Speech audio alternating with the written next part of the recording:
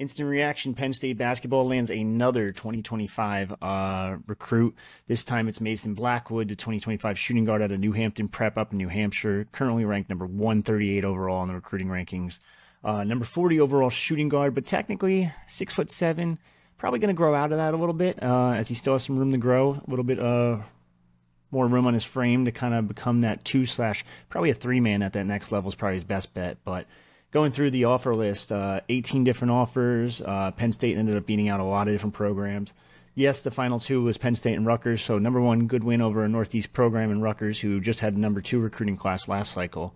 Um, but also beat out uh, Northwestern, who was going to host him for an official visit on the 20th. Ended up canceling that and coming to Penn State today. Uh, also beat out Oklahoma, Georgetown, Marquette, Boston College, Fordham, Texas A&M, Virginia, Virginia, uh, West Virginia, Washington, Wake Forest, Virginia Tech. Um, the list goes on and on. There's a lot more smaller schools as well. Uh, Mason Blackwood, actually a New York native, Rochester, New York native, played for City Rocks AAU program uh, in the EYBL circuit this past summer. Doesn't do anything super flashy, but an overall really good player, very consistent when it comes to rebounding, very consistent on the glass. Averaged 5.6 this EYBL circuit this uh, this April, May, and June, and July because uh, the Peach Jam, obviously. Uh, averaged 12 and a half points, 1.6 assists, just an overall pretty solid get for Penn State. Um, this is the second top 150 kid for uh, Mike Rhoades since he's joined the, since he took over the program last year uh, joining who was it? Miles Goodman, who was ranked number 80 in the 2024 cycle.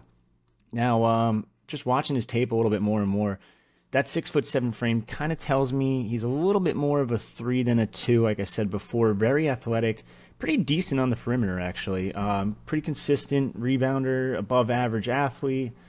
Uh, pretty good motor and just has a really good knack for finishing in traffic. Not afraid of the contact when going up for the layups, when, when crashing a lane. Um, nothing crazy when it comes to scoring numbers, but he shows shows a lot of flashes of a really solid player. Uh, more of a complementary piece than a star player, and that's perfectly fine because Penn State is uh, might end up having a star player sooner rather than later, as he also took an official visit to Penn State this uh, what was it two weeks ago, September seventh, along with Kayden Mingo, who is uh, and also a New York guy, number forty three in the class and still rising in the class rankings too. Uh, but it sounds like Penn State's doing really good right there, and those two really hit it off on that visit. Mike Rhoades is doing a really good job of selling these kids, and this honestly could be a very talented 2025 class if you add Mingo to go along with Blackwood, and even mentioned Justin Hauser, the uh, the big man out of Malvern Prep over in uh, Malvern, Pennsylvania. But oh, I'm sorry, uh, Phelps School in Malvern, Pennsylvania. But uh, yeah, just a really solid get for Penn State. A little bit of a shorter, uh, shorter episode here, but just wanted to get on here and offer an instant reaction. Really good kid, really good prospect, number 138 in the country, um, and something to keep an eye on because, like I said before, he's very close with Kayden Mingo, and this might not be all for Penn State as they're actually uh, almost, you can argue, in the lead for Kayden Mingo. And add Kayden Mingo, Mason Blackwood, Justin Hauser. It's a pretty damn good class and probably ranks within the top 20 in the in the nation, but for me and everyone else here at Happy Valley Insider, that's another instant reaction edition of the Penn State 365 podcast. Signing off.